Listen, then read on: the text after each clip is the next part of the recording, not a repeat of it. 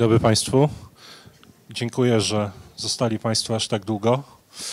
Mam nadzieję, że e, ta ostatnia prezentacja, e, że poprowadzę ją na tyle dynamicznie, że będziecie w stanie Państwo jeszcze wytrwać przez chwilę z uwagą, będąc zaangażowanymi, bo prezentacja będzie przede wszystkim o zaangażowaniu. E, żyjemy w ekonomii e, zaangażowania. Mówimy o ekonomii zaangażowania.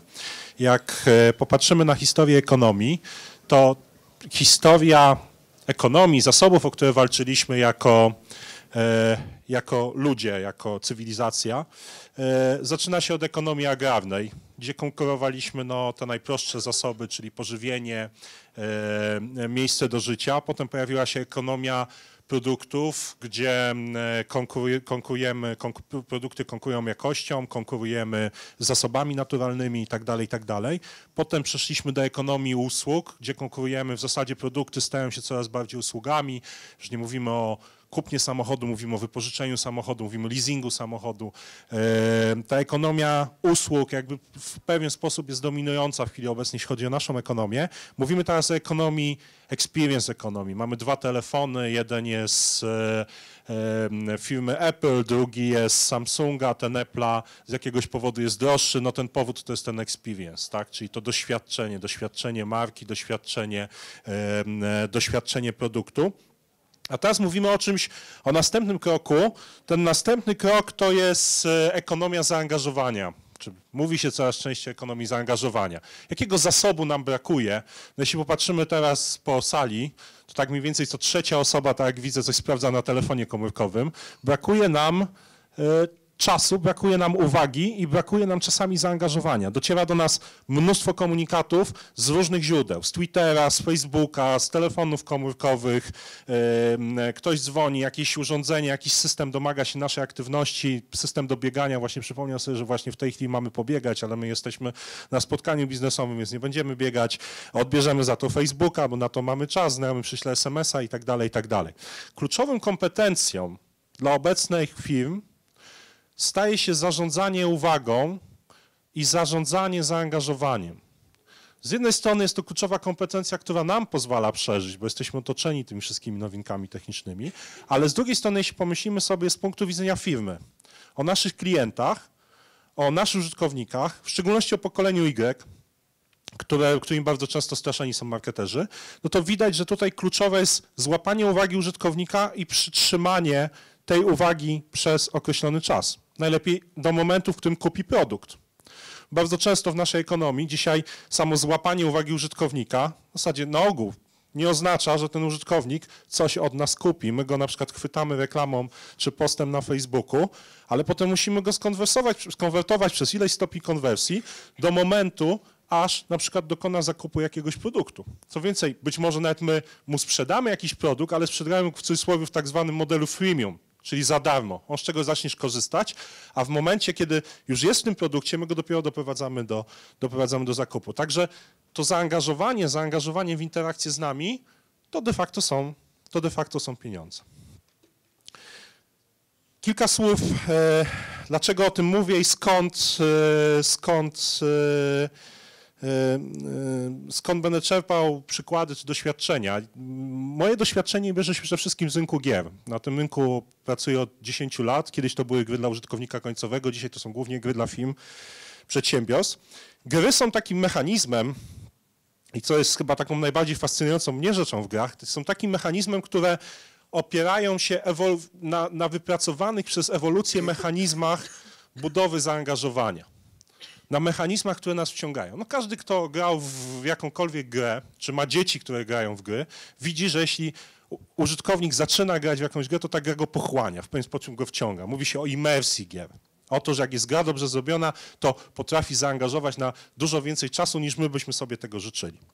Dobrym przykładem e, dotyczącym, dotyczącym gier jest takie pierwsze wydarzenie, jedno z pierwszych wydarzeń z historii gier, opisane przez Herodota, to było e, wydarzenie sprzed ponad 5 tysięcy lat i jest to historia o tym, jak jedno z plemion, które cierpiało głód, rozwiązało problem tego głodu w taki sposób, że król tego plemienia kazał grać mu w gry. Jeden dzień to plemię jadło, drugi dzień to plemię grało w gry. Jeden dzień jadło, drugi dzień grało w gry. No i tak to potrwało bodajże 18 lat według Herodota.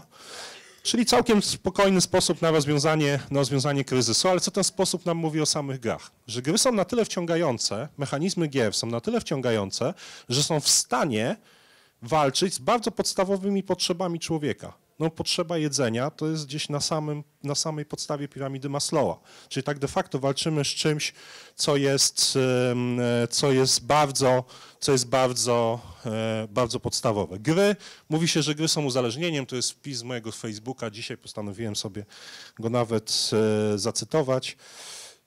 Dlaczego gry są uzależniające?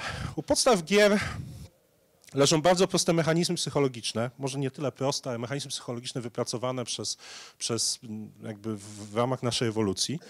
Te mechanizmy nazywamy schematami nagród. To jest jeden z wielu rodzajów mechanizmów, ale ten najpopularniejszy. Schematy nagród mówią mniej więcej tyle, że jak robimy coś w sposób pożądany, to otrzymujemy nagrodę. W ten sposób nas, nasz mózg uczy się, jakie rzeczy są dla nas pożądane, a jakie nie.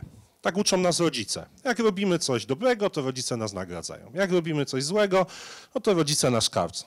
Powstaje cały mechanizm wzmocnień pozytywnych, które mówią naszemu mózgowi, mówią nam, co jest dobre, a co jest złe. I te mechanizmy są bardzo mocno związane z tym, co nazywa się designem czy projektowaniem gier. Ale nie tylko gier. Bo jeśli popatrzymy na niektóre ze schematów nagród, to spotykamy je także w życiu codziennym. Ja pokażę na tej tablicy. Czyli na przykład wypłata, prowizja. Takie schematy, które nazywają się fixed interval, czyli stałe, e, stałe wzmocnienie w e, co jakiś określony stały czas. Co miesiąc za dobrą pracę spodziewamy się dobrej wypłaty. Jest to system, który stopniowo w nas buduje pewien, pewien mechanizm oczekiwania na tą wypłatę. Oczywiście, jeśli ktoś z Państwa jest wynagradzany zmiennie, to wie, że e, za jakiś sukces, to wie, że ten sukces najwyżej zazwyczaj chce osiągnąć tuż przed momentem wypłaty. Tak to my to zaobserwujemy wśród handlowców. Jeśli mamy handlowca, którego nagradzają prowizyjnie, to zaczyna szczególnie intensywnie pracować mniej więcej między 25 a 30 30 dniem miesiąca, bo 30 dnia e, następuje wypłata prowizji, ale to jest uzasadnione psychologicznie, ten schemat po prostu tak działa. Drugi schemat to jest schemat yy, yy, nagroda po określonej liczbie zachowań, czyli na przykład punkty za wykonywanie jakichś zadań. To jest taki schemat, który bardzo dobrze działa na początku, on się później szybko, szybko wypala. Ale są jeszcze inne schematy. Tak? Mamy schemat variable ratio, czyli takiej zmiennej proporcji i to są wszystkie gry hazardowe co wcale nie oznacza, że jest to schemat zły do motywowania w innych przypadkach, o czym powiem za chwilę. I kolejny element, który być może się, który się może być, być może się Państwo trochę zdziwią, ale schemat variable interval, czyli takiej zmiennej, wzmocnienie po nieprzewidywalnej ilości czasu od, od, od zdarzenia. To jest schemat, który bardzo trudno zbudować, ale potem bardzo trudno się od niego oderwać. Jakby jest to schemat, w którym jesteśmy w stanie uzależniać bardzo mocno. I te schematy występują w wielu aplikacjach komunikacyjnych i w wielu miejscach, z którymi spotykacie się Państwo na co dzień. Jeśli korzystacie często z Facebooka albo korzystacie z telefonów komórkowych, to wiecie, że jak się pojawia takie czerwone kółeczko przy aplikacji, to znaczy, że właśnie zdarzyło się coś ważnego. Przyszedł mail, przyszło jakieś powiadomienie i tak dalej. Wiele osób niemalże odruchowo sprawdza, co się w tym momencie zdarzyło. W ten sposób wytwarzany jest nawyk sprawdzania informacji. No oczywiście, jeśli sprawdziłem, tam się wydarzyło to, że ktoś polubił moje zdjęcie sprzed tygodnia z jakiejś imprezy, no to czuję się, uwalnia się nagroda. To nie znaczy, że nagroda, nagroda nie, nie, polega na tym, że mi ktoś przyjdzie i da 100 zł. Nagroda w tym wypadku, w przypadku Facebooka, polega na tym, że ja poczułem się doceniony, poczułem się zauważony. Ktoś nagrodził lajkiem moje zdjęcie, ktoś udostępnił mój obrazek, ktoś skomentował moją informację. W przypadku maila jest trochę inaczej, bo w przypadku maila mamy takie jest coś takiego, każdy, każdy z nas ma coś takiego jak poczucie kompletności, jego przeciwieństwem jest takie, takie coś, co się nazywa fear of missing out, czyli strach przed tym, że coś mnie opuszcza, czegoś nie zauważyłem, czegoś mój umysł nie skontrolował i tak dalej. I uwolnienie się od tego, czyli odebranie wiadomości, wyczyszczenie tej liczby, liczby na, na, na mailu powoduje, że tak de facto ja już odbieram swoją nagrodę. Jakiś ból, jaka, jakiś niepokój we mnie znika. Oczywiście te przykłady są w pewien, z jednej strony są przykładami e, pozytywnymi, z drugiej strony są, no, są negatywne. To jakby są przykłady, które pokazują, w jaki sposób może prowadzić do uzależnienia od nowoczesnych środków komunikacji. Natomiast one pokazują też coś bardzo ważnego, że pomiędzy światem cyfrowym a światem realnym istnieją pewne mechanizmy psychologiczne, za pomocą których my możemy zmieniać zachowanie ludzi. My możemy przywiązać ludzi do jakiegoś, jakiegoś, naszych odbiorców do jakiegoś mechanizmu. Oczywiście możemy to wykorzystać w złym celu, możemy to wykorzystać w dobrym celu. Przykład dobrego celu to jest przykład jednego z naszych klientów, call center, które zatrudnia bardzo młodych ludzi, średnia wieku 28 lat. Podstawowy problem, zmusić tych ludzi, żeby przychodzili na jedną godzinę do pracy. Na określoną, konkretną godzinę do pracy. Ten system działa w oparciu o taki schemat nagród, w którym rośnie proporcja nagradzania. Czyli przychodzi nam dana osoba do pracy w określonym czasie, klika odbierz nagrodę, dostaje nagrodę w postaci punktów. Potem może sobie te punkty wynieść na przykład na bilet do kina. Potem mamy e, drugi dzień, znowu dostaje punkty, ale ze względu na to, że jest to seria dni pod rząd, no to dostaje tych punktów trochę więcej. I tak dalej, i tak dalej. Rośnie narastająco, rośnie pewna premia. Jeśli któregoś dnia się spóźnię do pracy, no cóż, znowu dostanę nagrodę, ale tylko za pierwszy dzień, bez tej narastającej premii. System kompletnie dobrowolny. Można wygrać bilety do kina. 60% poprawy frekwencji. Duża zmiana w zachowaniu. Teraz wyobraźmy sobie, że ten system stosujemy do monitorowania konwersji, na przykład na naszych stronach internetowych. Że patrzymy na niego troszeczkę w inny sposób. Tak? Nie patrzymy na od strony pracownika, tylko patrzymy od, od strony na przykład systemu internetowego, e, portalu, systemu rezerwacji miejsc, sklepu internetowego i tak. Odwiedzający, których, z, których chcemy z, których, z których chcemy stworzyć regularnie osoby, które regularnie nas odwiedzają. Schemat zaangażowania nastawiony na nagradzanie za codzienne, za codzienne wchodzenie. Następnie nagroda, którą w chwili obecnej testujemy, za chwilę powiem o takim systemie, nagroda za to, że użytkownik nam się zarejestrował. Jesteś z nami codziennie, zarejestruj się, dostaniesz określoną ilość punktów. Nagroda, następnie nagroda za zaangażowanie, to jest za chwilę powiem o głaskach, czyli w momencie, jeśli ktoś już jest wewnątrz systemu, to w tym momencie, patrząc jakby na, na jego aktywność, też możemy go nagradzać za te akcje, które w systemie wykonuje, za to, jak wchodzi w interakcję z, z różnymi ludźmi, czy przyciąga nam ruch, czy odpycha nam ruch, czy ma dużo promotorów, dużo detraktorów i tak dalej, i tak dalej. No i na samym końcu przekonanie do zakupu. Jaka jest różnica, jaki taki system, w jaki sposób tworzy różnicę w myśleniu o naszym użytkowniku? On pozwala nam myśleć o naszym użytkowniku jako o kimś, komu my oddajemy pewną wartość, komu my płacimy w jakiś określony sposób za to, że on wykona interesujące akcje z punktu widzenia naszego biznesu. Czyli jeśli on się przekonwertuje nam na aktywnego użytkownika, no to ten użytkownik coś, coś za to dostaje. Dlaczego? Dlatego, że schematy nagród służą do zmiany zachowań. My ewolucyjnie uczymy się za pomocą schematów nagród. Więc tutaj nagradzanie wytwarza pewnego rodzaju określone, określone nawyki. To jest mój najpopularniejszy, najpopularniejszy wpis na Facebooku, gdzie pojawiłem się z tatuażami, których nie mam. 96 e, aktywnych osób. I to pokazuje też jeszcze inną, trochę inną zasadę nagradzania. Głaski, szery, lajki. Ekonomia głasków. Głaski to są bodźce pozytywne i negatywne, które dostajemy od innych ludzi. Jeśli nie dostajemy ich odpowiedniej ilości, to jest policzone naukowo, no to wtedy tak de facto mamy, zaczynamy mieć problem, zaczynamy się czuć e, opuszczeni, odrzuceni społecznie i tak dalej, i tak dalej. Nie możemy żyć bez głasków, tak mówiąc prosto. W chwili obecnej tą przestrzeń głasków w istotny sposób wypełnia nam Facebook.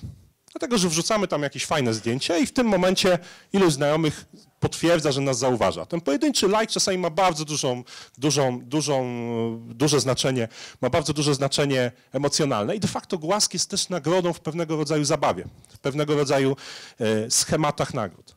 Natomiast jak do tego podchodzimy tutaj po, poprzedni, na poprzednich jakby kilku, kilku prelekcjach mówiliśmy dużo o, e, o o, o social mediach, o tym, jak badamy social media i tak dalej.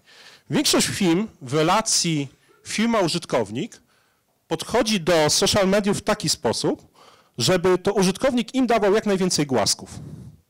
Nie myślimy o tym, jaką nagrodę my użytkownikowi damy za to, że użytkownik nam coś zalajkuje, wejdzie w naszą jakąś głębszą interakcję i tak dalej. To jest bardzo jednostronna komunikacja. I potem bardzo często przy takich, w takich sytuacjach okazuje się, że firma żeby pobudzić użytkowników, których jest 500 tysięcy lajków, z tego pod każdym postem pojawia się maksymalnie dwa komentarze, to znaczy, że są tam e, account manager i jego kolega z tej agencji, co im to zrobili social media i mogą ze sobą podyskutować na szerokim forum. Firma mówi, jak to pobudzić? Pobudźmy to konkursem, wydajmy dużo na nagrody. No właśnie w tym momencie zazwyczaj firma oddaje te wszystkie głaski, oddaje te wszystkie, te wszystkie elementy użytkownikowi. Bardzo modnym nośnym trendem, e, jeszcze o nim nie powiedziałem, ale, ale gdzieś on się tutaj w tle przesuwa, jest gamifikacja, czyli jest to punktowanie i tak dalej. Gamifikacja trochę tym się różni od social media i to chciałbym, żeby, żebyście, żeby Państwo za, za, zapamiętali, że w social mediach to użytkownik lajkuje nas jako organizację. Czyli my oczekujemy, że wrzucimy coś fajnego, pokażemy, zobacz, jak jesteśmy wspaniali, zalajkuj to. W gamifikacji to my lajkujemy użytkownika. To my mówimy, zrobiłeś fajną akcję dla naszego brandu, my ci dajemy dwa punkty. Kiedyś sobie wymienisz te dwa punkty na coś, może być może tylko na fajną odznakę na swoim profilu. Ale jest to zupełnie inny model, inny model, e, inny model działania. Ten model działania można streścić w, takim, e, w taki następujący sposób. Załóżmy, że mamy jakiś cel biznesowy jako organizacja. E, to może być, tu jest przykład, zwiększ sprzedaż produktu 15% i może być to cel kierowany do pracowników call center. Ja taki przykład za chwilę pokażę, bo na nim robiliśmy badania.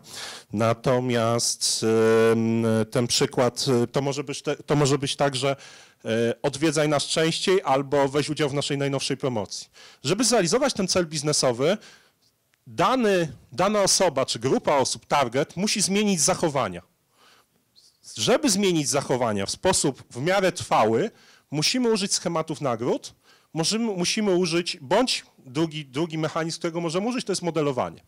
Schematy nagród, schematów nagród, nagród mówiłem, modelowanie trochę są, jest związane z tymi głaskami, to znaczy różne osoby i z liderami opinii, o której tutaj mówił jeden z moich przedmówców, to znaczy różne osoby, głaski od różnych osób mają dla nas różną wartość. Jeśli na przykład pochwali nas nasz autorytet, lider naszego zespołu sprzedażowego, to jest to duża pochwała. Jeśli pochwali mnie mój kumpel z biurka obok, który wiem, że radzi sobie w pracy tak samo jak ja, to jest to mała pochwała. A modelowanie zachodzi wtedy, kiedy ja zaczynam słuchać właśnie tego lidera i zaczynam go naśladować.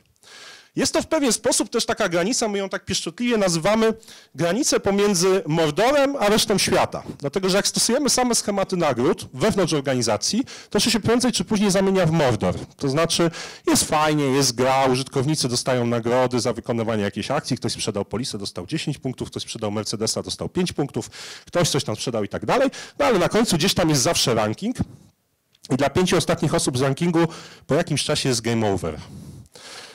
Tak kończy się gra. Natomiast modelowanie troszeczkę temu zapobiega, bo ono umożliwia nam dość wcześnie wykrycie, kto w tej grze nie nadąża i podpięcie tego kogoś pod tych, którzy są na ranki w rankingu na początku.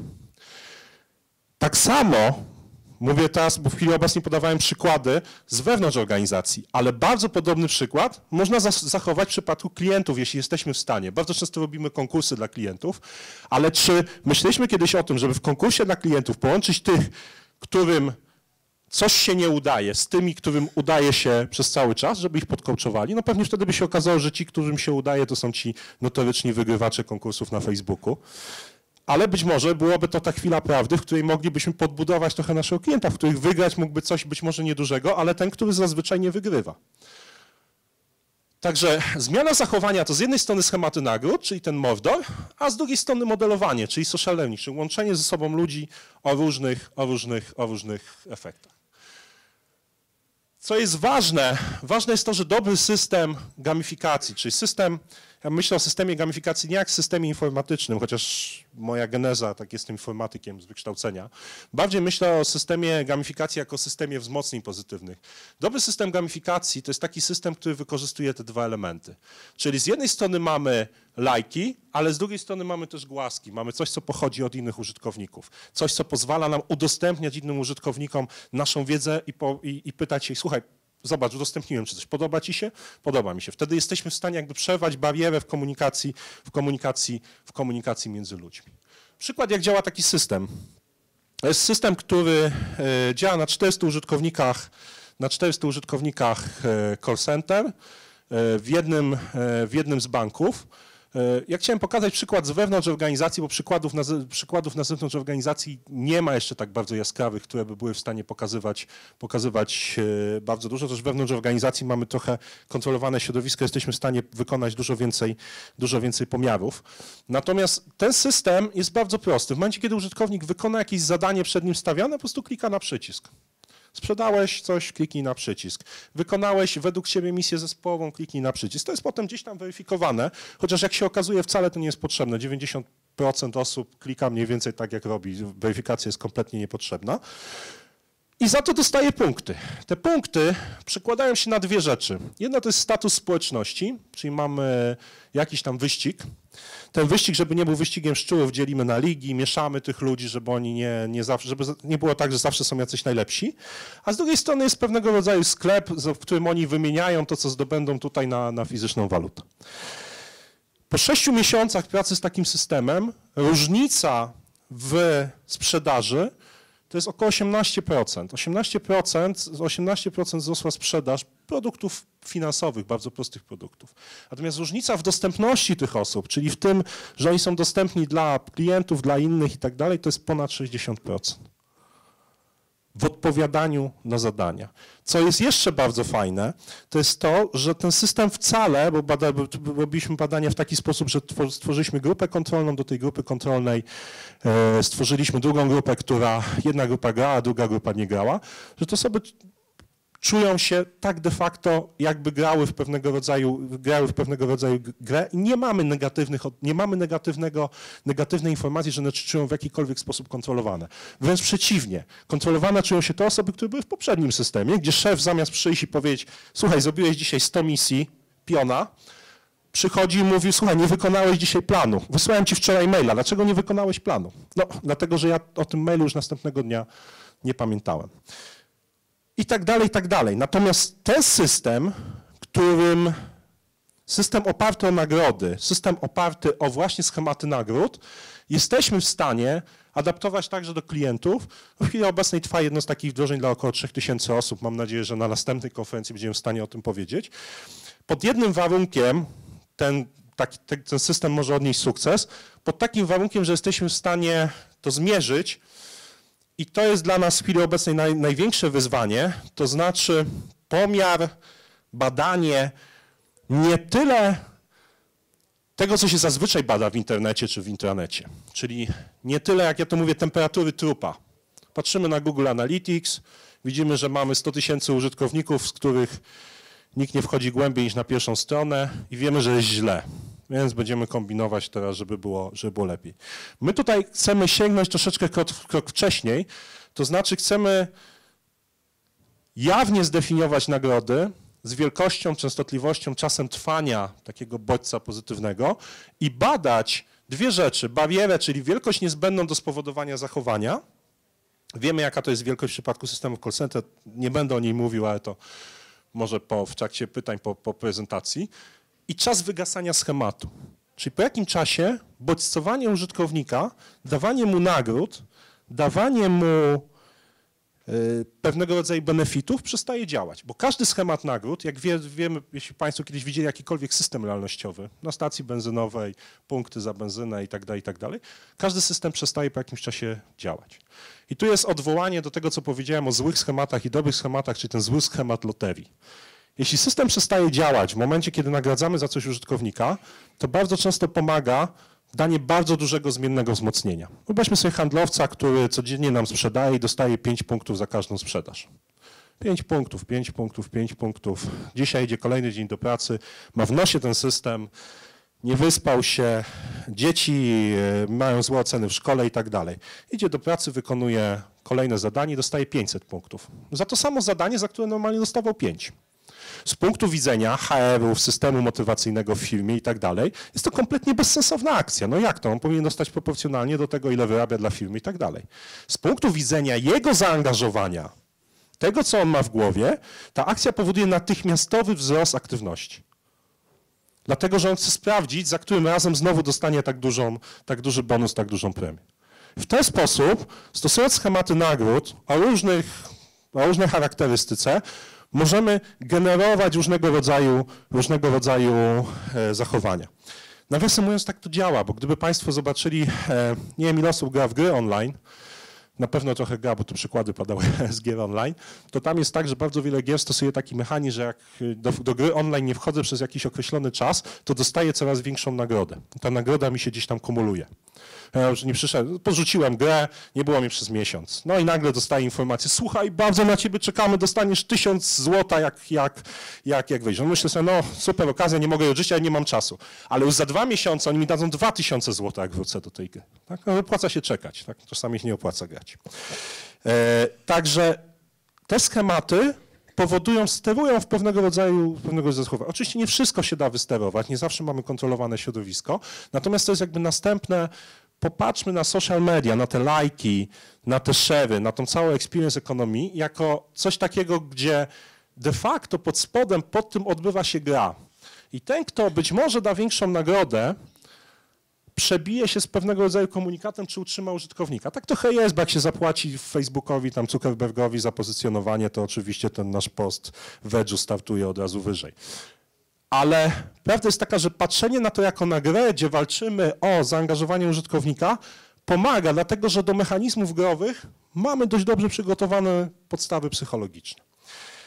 I z tym chciałbym Państwa zostawić na koniec e, dzisiejszego dnia i czekam na pytania. Bardzo dziękujemy. Czy są Pytania? jakieś pytania?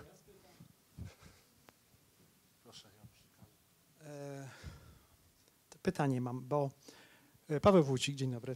W psychologii behawioralnej, o której Pan trochę mówił, poza schematami nagród e, e, jest bardzo silne pojęcie, jeśli chodzi o modelowanie zachowania, schematy kar.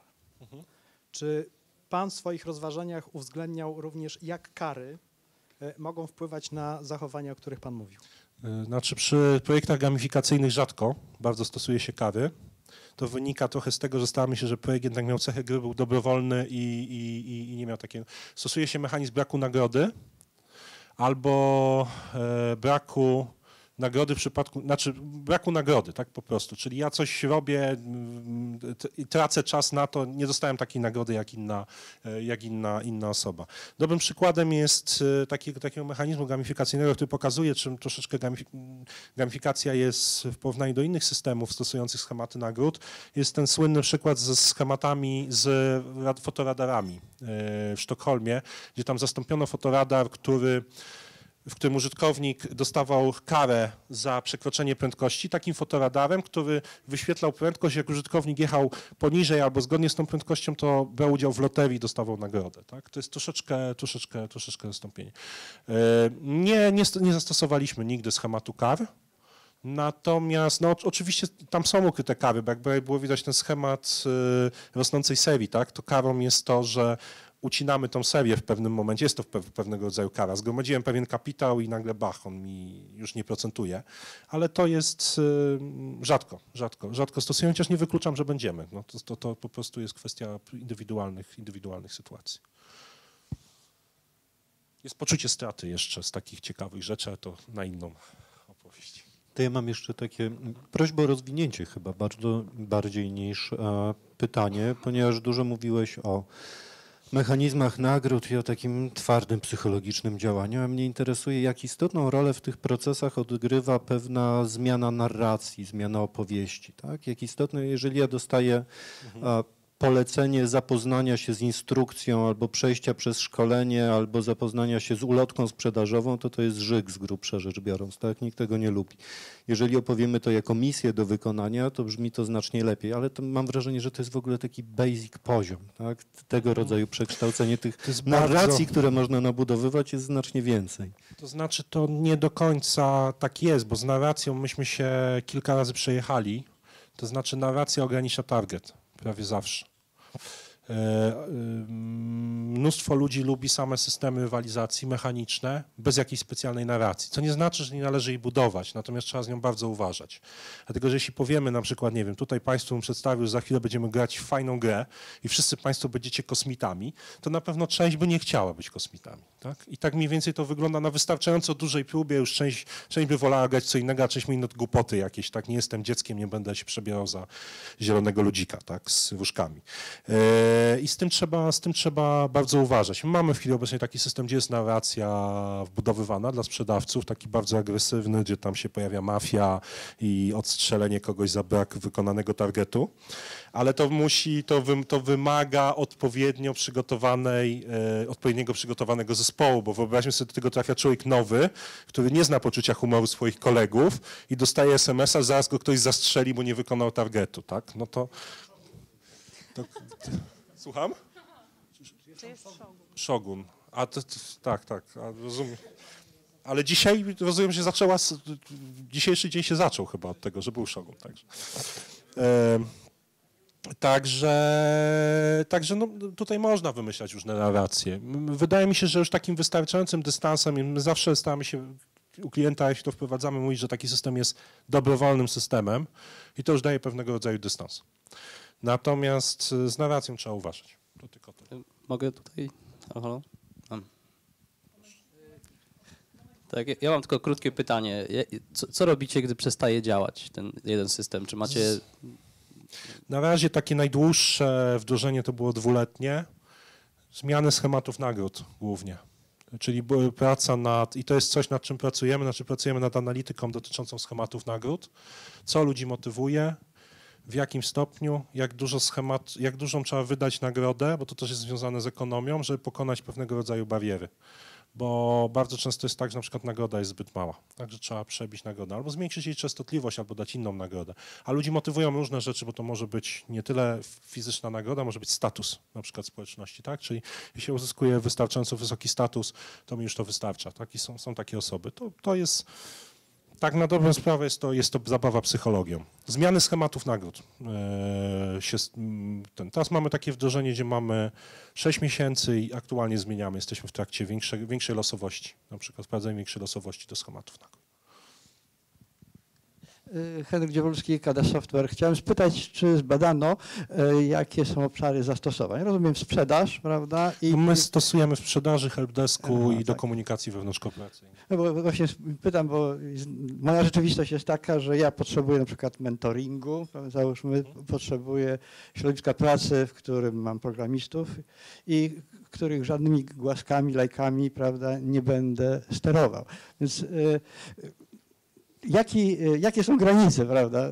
Programistami się da sterować tym. To tutaj może jesteśmy poza granicami, tak de facto. Ale ludzie z, z tak zwanego IT są bardzo podatni na gry, także da się. Da się. Y, Mam pytanie dotyczące właśnie inflacji takich, takiego systemu nagród, bo szukam takiego odpowiednika y, w prasie. Bardzo często, kilka lat temu był taki y, powszechny nurt sprzedawania tak naprawdę płyty z prasą, a nie odwrotnie. Y, I był tylko jeden tygodnik, nie chcę go wymieniać, który był odważny, nie robił tego, twierdził, że ma misję, sprzedaje treści dziennikarskie, ale po pewnym czasie i tak się złamał. E, Czy to nie jest tak, że te systemy gier e, w pewnym sensie uzależniają jednych od drugich, to znaczy klientów od gry, a, e, a firmę od samego systemu? To znaczy, że, po, że to jest jednokierunkowa ścieżka, tak? Że nie można potem od takiej gry odstąpić, ponieważ istnieje groźba spadku efektywności sprzedaży, działań i tak. Ciężko mi powiedzieć. Znaczy, fakt jest faktem, że myśmy nie mieli jeszcze takiej sytuacji, żeby ktoś chciał świadomie odstąpić się od takiej, od takiej gry, ale są na przykład firmy, które zamykają systemy lojalnościowe. Mo, moim zdaniem mm, ciężko, na, naprawdę ciężko mi, ciężko mi udzielić takiej jednoznacznej odpowiedzi. Tak na pewno, na pewno jest ryzykiem pewnego rodzaju wycofania się z tego systemu, no bo motywujemy czymś osoby i tak dalej, i tak dalej. Em, Ono to jest ryzyko obustronne. To znaczy, jak patrzymy na przykład w organizacjach, to na przykład zmniejsza się też rotacja pracowników, tak? No bo ktoś, kto jest związany z takim systemem, osiągnął któryś tam poziom i ma tam jakieś swoje wirtualne dobra, no to nie za bardzo chce się rozstawać z organizacją. Ale oczywiście jak każda lojalność ma swoje dwie strony, tak? To znaczy wycofanie się z takiego systemu na pewno powoduje jakieś efekty bodźce ujemne. My, my nie mamy, po prostu nie mam takiego case'u, żeby powiedzieć, jak to, jak to wygląda. Na pewno jest tak, że, system, że systemy nagród cały czas się dewaluują. To znaczy to nie jest tak, że ten system że ten system jest takim systemem, że się go raz wdraża, a potem on chodzi przez ileś lat. Tam cały czas trzeba mo- to modyfikować i patrzeć, jak, jakie nagrody są za co, ale to ja to traktuję jako, bo to z perspektywy ekonomicznej to jest jak normalna gra rynkowa. To znaczy my odpowiadamy na działania jakby środowiska jakimiś konkretnymi rzeczami. Podnosimy ceny, opuszczamy ceny, wydajemy więcej nagród. To taki mikrorynek tak de facto. Zresztą bardzo podobnych mechanizmów. Wskaźniki są jak dla rynku, tak? Jest podaż, popyt.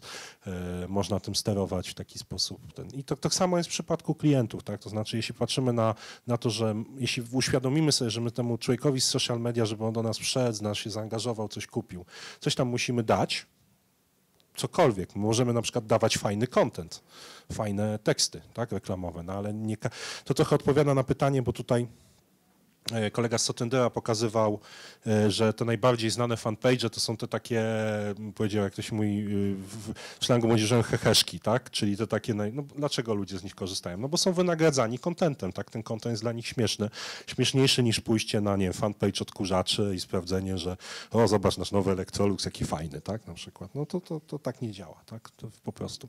E, czyli jakby tą nagrodą jest ten fajny content, który mogą udostępnić, pochwalić się znajomym. E, I tutaj też następuje pewnego rodzaju, pewnego rodzaju powiązanie. Natomiast y, no, no, no koszty wycofania naprawdę są, zawsze są jakieś. Tak? To, to, to, to, to, to tyle. Ja mam tylko pytanie, bo tak to trochę brzmi jakby tworzymy potworka, którego potem trzeba karmić i tą kaloryczność mierzyć, w sensie tego, co ma tam zjadać. E, A te, jestem fanem gryfikacji, e, tak w ogóle, także absolutnie nie kontestuję tego. Tylko pytanie jest tylko takie, czy jest jakiś system, czy model wyceny tych nagród, w sensie e, kiedy, chodzi o tą współzależność, tak, między wartością tejże nagrody, czy to w wymiarze takim social mediowym, czy rzeczywiście fizycznym versus poziom zaangażowania, bo to o to chodzi tak naprawdę. Czy masz jakieś takie przykłady albo do czego się można odnosić? Znaczy, no jest tak, znaczy system jest dla każdego typu wdrożenia jest, jest troszeczkę inaczej sparametryzowany. Natomiast on jest, y, on, mm, jest to system, znaczy bardzo konkretny wymiar ma ten system. Jest to pewnego rodzaju tabelka w Excelu, w którym projektant takiej gry po prostu przestawia, przestawia wskaźniki, ale dokładnie na tym to polega. Ile musimy dać za to, żeby ktoś nam, żeby ktoś nam coś, coś wykonał. To jest jak balansowanie przedmiotów w grach online. Bardzo podobny mechanizm. Czyli jak, e, jak grasz gry online, to tam bardzo często jest tak, że masz, e, dokupujesz e, przedmioty free to play, tak? Czyli przedmioty free to play, czyli kupujesz sobie silniejszy miecz na większego smoka. I teraz te przedmioty muszą być z jednej strony tak wysterowane, żeby dawać e, użytkownikowi faktycznie ten poczucie mocy, ten power, nagrodę i tak dalej, ale z drugiej strony muszą być na tyle e, słabe, żeby nie rozwalić balansu w grze, czyli że ten człowiek nie został królem całej gry, bo sobie coś kupił. To są schematy, tylko to są takie designerskie schematy, bym powiedział, no formułki w, w, w Excelu, tak? To są schematy. To nie jest tak, że to, się, że to za każdym razem trzeba wymyślić. Nie, to są schematy, można badać e, podatność całego systemu, bo to, są, to, to jest ekonomia, tak? Można badać podatność całego systemu na, na, na właśnie na inflację, na jakieś, na, na, na utratę balansu i tak dalej. Dziękuję bardzo. Wojtek, bardzo Dziękuję. dziękuję.